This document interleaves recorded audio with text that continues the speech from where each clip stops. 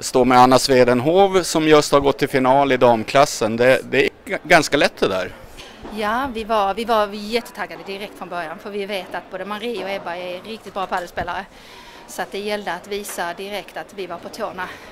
Eh, och vi kände det även om siffrorna talar någonting annat så, så ehm, eh, just i andra sätt, där var vi med. Men så, ja. Och du teamar ihop nu med Sofia Arvidsson. Hur är det att spela med henne? Hon slår hårt. Fantastiskt, eh, ja det är jätteroligt att att spela med en tjej som har en sån eh, fantastisk, vad ska man säga, eh, hon vill vinna men hon har glimten i ögat i detta här. Eh, En, en vinnarskalle helt enkelt.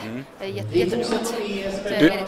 Du sa tidigare till mig att när ni började spela så var det lite nervös. Kan du berätta varför? Det var nog mer från min sida eftersom eh, med den bakgrunden Sofia har som en fantastisk tennisspelare och jag har tennisbakgrund men långt ifrån hennes nivå så var man liksom ändå att wow, det är hon ju. Eh, men hon är en helt vanlig tjej med båda fötterna på jorden, väldigt ödmjuk och mycket glimten i ögat så det är, det är superskojigt. Är, är hon lätt att spela med? Ja, det tycker jag.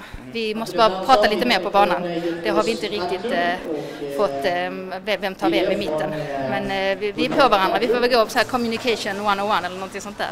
Någon kurs. Och nu blir det final förmodligen då mot de hittills obesegrade Billy Gajic och Antonetta Andersson. Är ni redo att slå dem? Blir det första laget?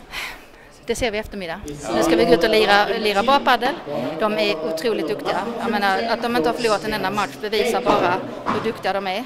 Eh, och de har tränat på bra. Eh, nu när vi mötte dem förra gången i finalen. Båda två har steppat upp ytterligare ett snäpp.